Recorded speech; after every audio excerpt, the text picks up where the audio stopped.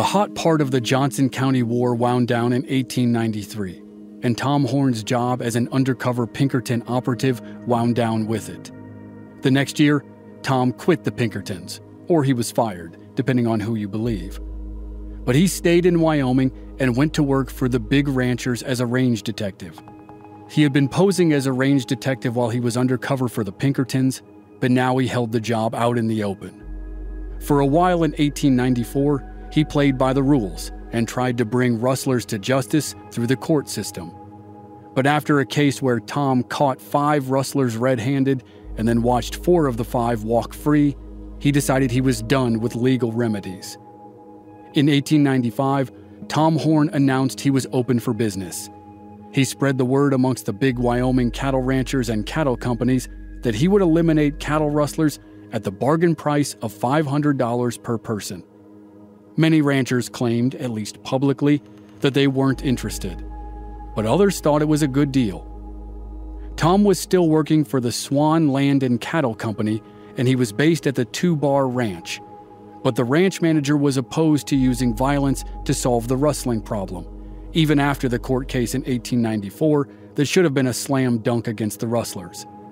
The ranch manager still wanted to work within the confines of the law, which was morally and legally the right call. The manager didn't want a hired gun patrolling the range and shooting people on the spot, even if they were guilty.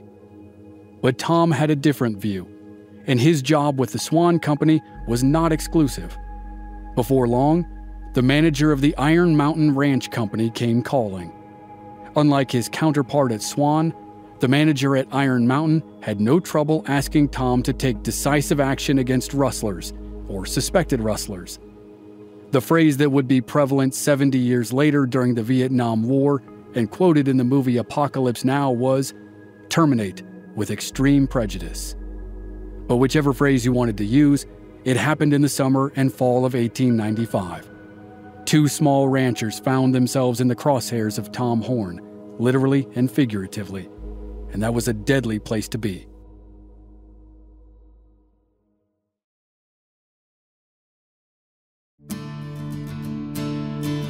From Black Barrel Media, this is Legends of the Old West.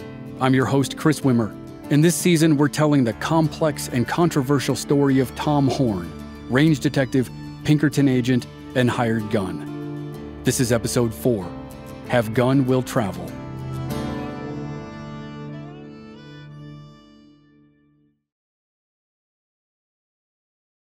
The Iron Mountain Ranch Company was based in Laramie County, not far from the Two Bar Ranch that was Tom Horn's headquarters. The man who ran Iron Mountain was a well known local rancher named John Coble. He and his brother Bob moved from Nebraska to Wyoming and started the company. Iron Mountain owned four separate ranches and grazed an estimated 6,000 head of cattle. John Coble had once been in partnership with a wealthy British aristocrat named Sir Horace Plunkett. Sir Horace had dabbled in the cattle business, but eventually sold out to Coble. Coble was known to be eccentric, and some of his eccentric ways may have come from Sir Horace. Coble drove an expensive buggy instead of a wagon or riding a horse. He dressed in fancy suits and hosted lavish parties at his home in Cheyenne. He certainly looked more like a wealthy British aristocrat of the era than a rough and tumble rancher who was weathered from years of riding the range. As such, he didn't have much in common with Tom Horn, but they did agree on how to handle rustlers.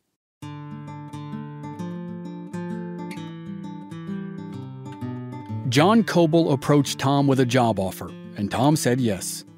The two men formed a good working relationship and eventually a strong friendship. John's brother Bob said that John had lost faith in range detectives and had given up on hiring them. But when Tom Horn came along, his faith was restored. John and Bob were both happy to have a man who could ride the range and look after their cattle and handle any rustling problems without bringing them to court. Tom and the Swan Land and Cattle Company had had a bad experience with a case of a known rustler named Eva Langhoff. They'd also had a bad experience with a husband and wife team who worked with Eva. Tom had arrested the husband and wife twice, but they were freed both times. Cases like those outraged Tom Horn and his new boss, John Coble. But ironically, the year the two men started working together, 1895, the legal system in Wyoming improved. Cattle barons saw better results in their cases. Prosecutors were more willing to bring cases of cattle rustling to trial, and juries were more willing to convict. But Tom Horn and John Coble still liked to deal with rustlers quickly and decisively. And that was bad news for a British immigrant named William Lewis. Lewis owned a small ranch near both of Tom's employers, Iron Mountain and Swan Land and Cattle. By most accounts, Lewis really was a cattle rustler. John Clay, the ranch manager for the Swan Company, and John Coble, the managing partner of Iron Mountain, had each charged Lewis with rustling three separate times once in 1893, then in 1894, and again in early 1895. But the charges never stuck. To make the matter more frustrating, William Lewis, the cattle rustler, filed a $15,000 lawsuit against John Coble, the Swan Company, and the Laramie County Sheriff for false arrest. That was probably the final straw for the cattlemen. On August 3, 1895, a neighbor found William Lewis lying dead in his corral. He was killed by a single gunshot. A coroner's jury was convened at the scene and determined he had been murdered.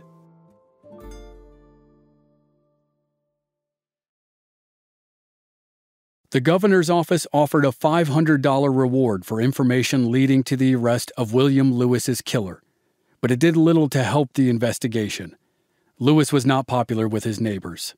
An article in the Daily Sun, a Wyoming newspaper, read All the people in a radius of 15 miles of Lewis's place say that they are glad that he is dead. The article went on to say that the $500 reward would not stir his former neighbors up to action in hunting his murderers. And they were right. There were no leads and no clues. When pressed on the status of the case by a local reporter, the sheriff of Laramie County said he had done his best to solve it, despite the fact that he was being sued by the victim. The sheriff said he didn't have the slightest clue who murdered William Lewis. The Daily Sun concluded that William Lewis's murder would never be solved but there was no question about who had the strongest motivation to commit the crime.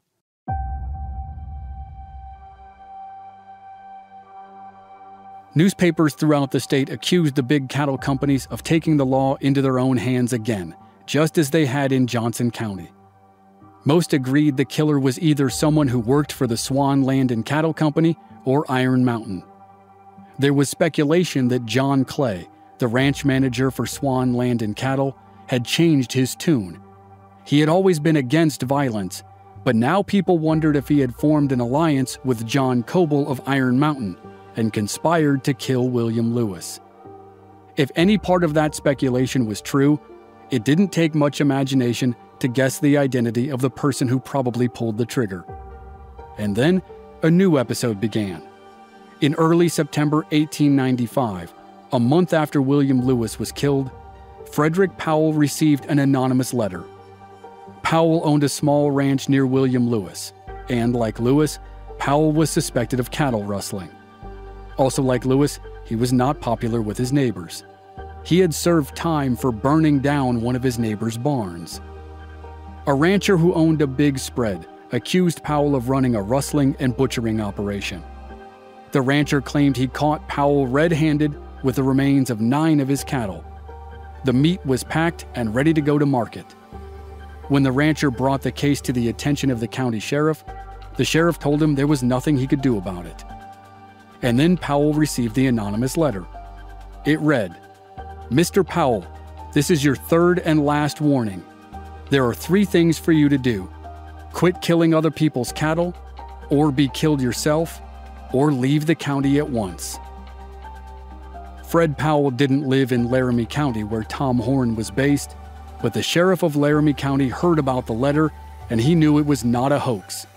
He rode to Powell's ranch and warned him to move away with his wife and young son, or he would likely be killed. Powell chose not to move, or at least not fast enough. On September 10th, just over a month after William Lewis's murder, Powell was shot to death.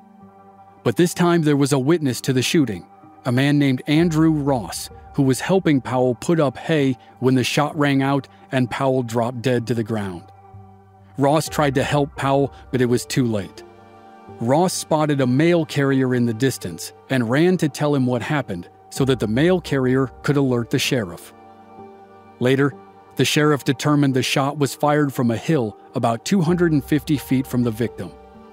The only clue was a boot print left by the killer, who had apparently walked down to make sure Powell was dead after Ross ran off to catch the mail carrier.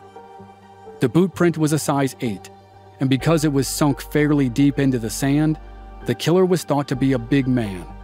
It was also a clean shot, straight to the heart. The killer was an impressive marksman to have made a shot like that from such a distance.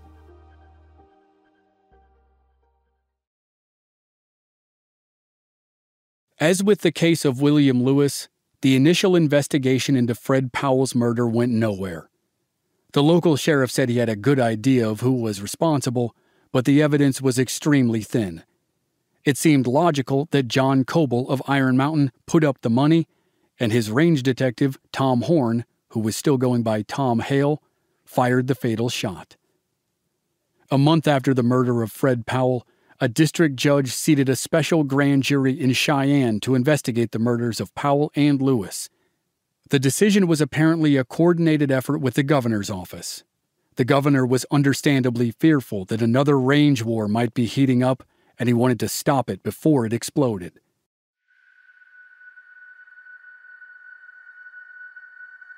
The sheriff of Laramie County began serving subpoenas to witnesses. John Coble and Tom Horn were ordered to appear. But it was reported that serving Tom Horn with a subpoena wasn't easy.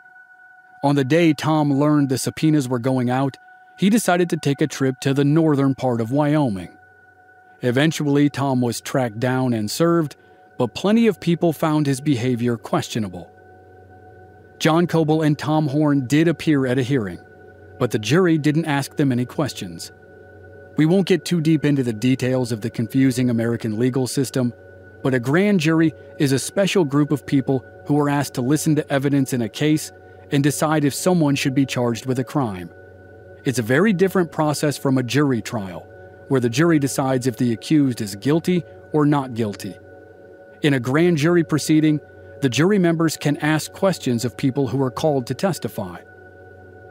In this case, the men of the grand jury decided they didn't have any questions for Coble or Horn, so neither man was called to the stand to testify. That was a big chance for both men to talk on the record. The judge assured the jury that their deliberations would be secret, and if they voted to charge either man with a crime, those discussions and the votes would also be secret. But even then, it must have seemed like a hell of a risk to the men of the jury. But that's not to say that the hearing was a total loss. Fred Powell's widow Mary testified. She said she had seen Tom Horn following her husband three years earlier during the investigation into Eva Langhoff. Mary Powell said Tom had been watching her husband from a distance, but her testimony was really thin.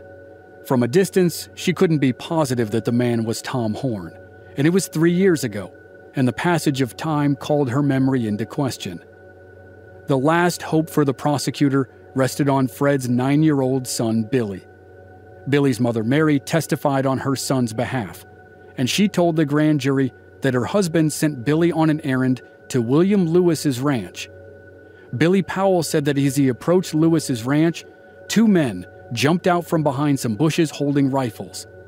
When they realized Billy was not who they were looking for, they hastily retreated. William Lewis was murdered soon after that encounter. A few days later, Billy saw one of those same men hiding near their farm just a few days before his father was killed. During a break in the proceedings, Mary Powell and her son Billy were standing outside the courthouse when she felt Billy grab her skirt. The boy then hid behind her, and when she looked down to see what was wrong, she could see terror in Billy's eyes. The boy whispered to his mother that he had just spotted the same man he had seen at their ranch before his father was killed. The frightened boy pointed the man out to his mother, and it was, of course, Tom Horn. The prosecutor had done all he could. Now he had to hope the jury would vote to indict John Coble and Tom Horn for murder. Otherwise, it was over.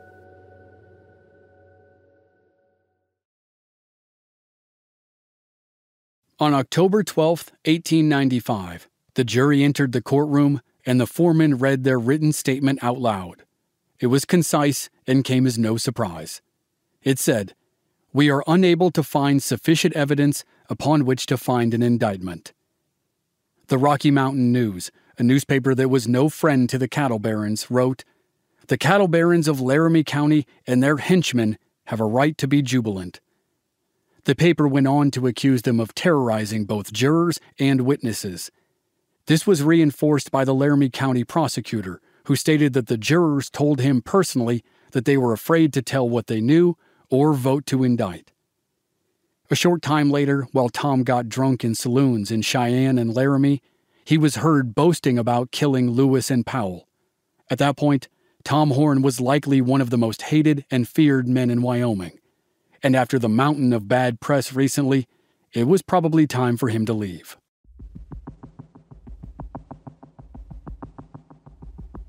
The cattle barons decided it would be smart to stop killing people for a while.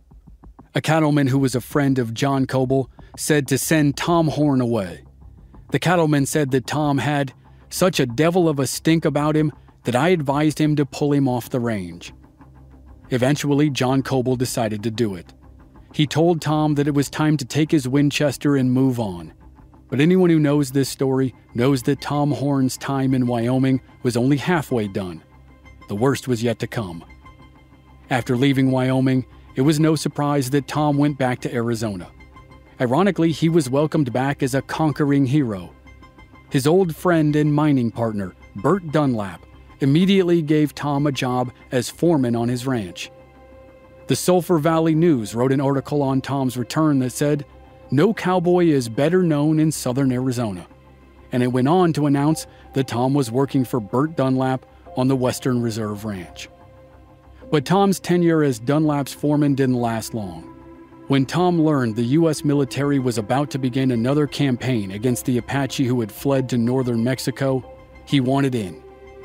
The mission appeared to be one last attempt to kill or capture a notorious scout turned outlaw called the Apache Kid.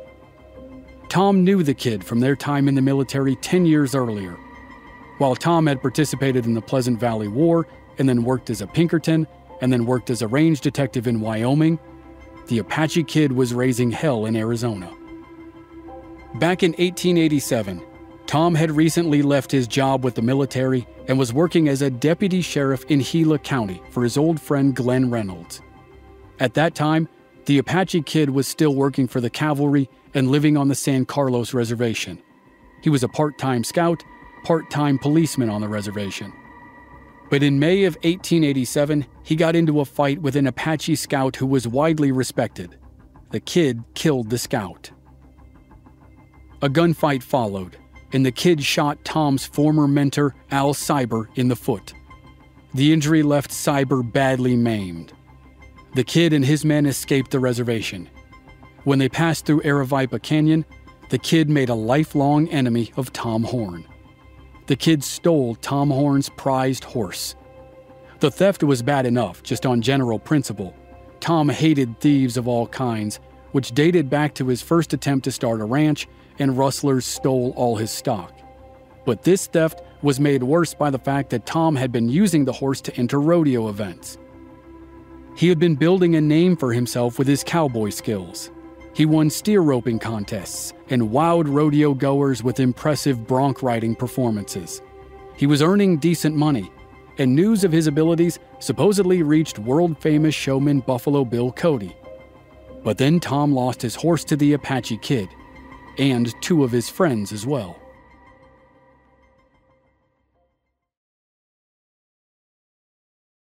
The Apache Kid and three of his men eventually surrendered and were taken before a district judge in Globe, Arizona, where they were charged and convicted for the assault on Al Sieber.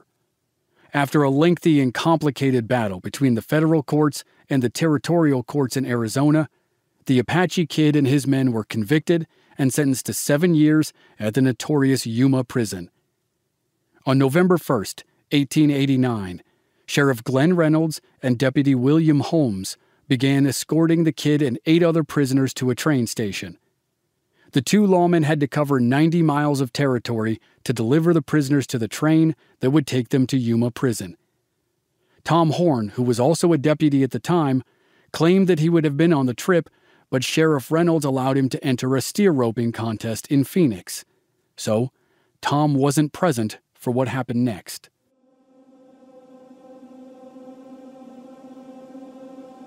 During the 90 mile trip to the train station, the Apache kid and his men hatched an escape plan.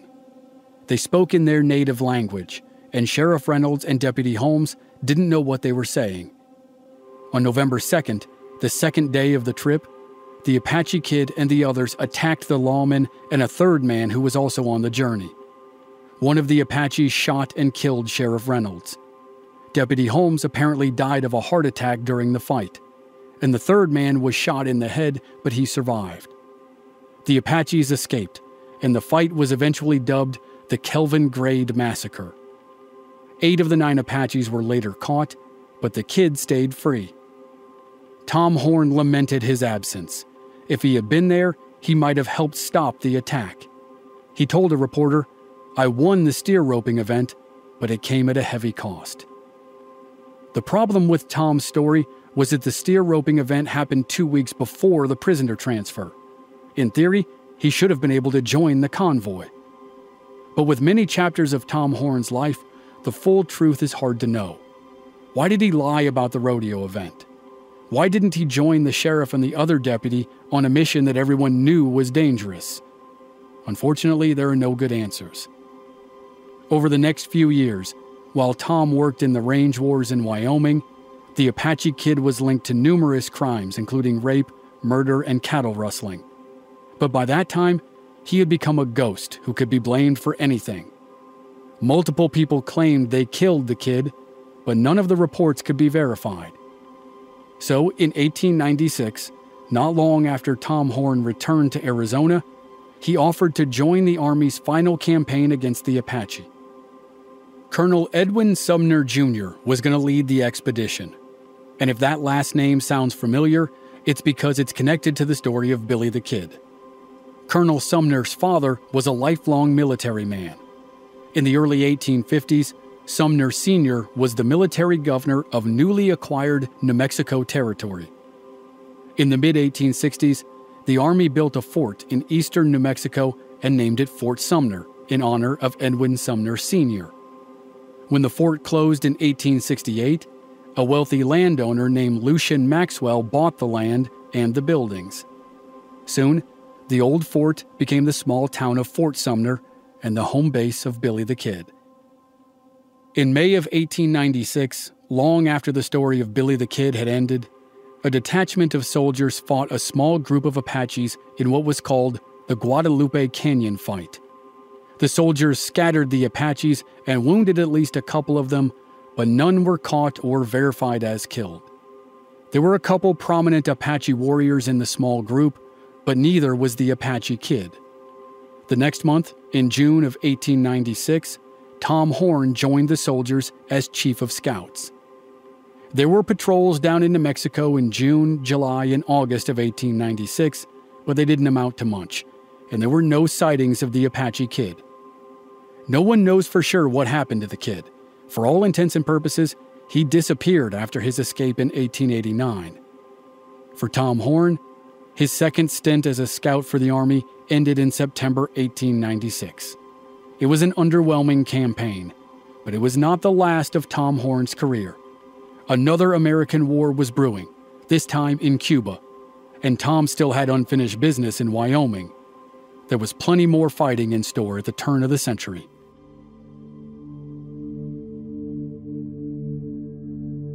Next time on Legends of the Old West, Tom Horn's story grows more complex as he demonstrates unquestioned bravery in Cuba during the Spanish American War. And then he joins the hunt for the last two world famous outlaws of the Old West era Butch Cassidy and the Sundance Kid. That's next week on Legends of the Old West. And members of our Black Barrel Plus program don't have to wait week to week. They receive the entire season to binge all at once with no commercials. Sign up now through the link in the show notes or on our website, blackbarrelmedia.com. Memberships begin at just $5 per month. This series was researched and written by Michael Byrne. Original music by Rob Valier. Copy editing by me, Chris Wimmer, and I'm your host and producer. If you enjoyed the show, please leave us a rating and a review on Apple Podcasts or wherever you're listening. Check out our website, blackbarrelmedia.com, for more details and join us on social media. We're at Old West Podcast on Facebook, Instagram, and Twitter. Thanks for listening.